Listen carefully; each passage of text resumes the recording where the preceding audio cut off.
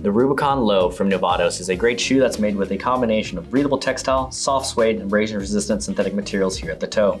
The waterproof construction is going to keep your feet dry and comfortable while the unique lace-up design provides a secure fit.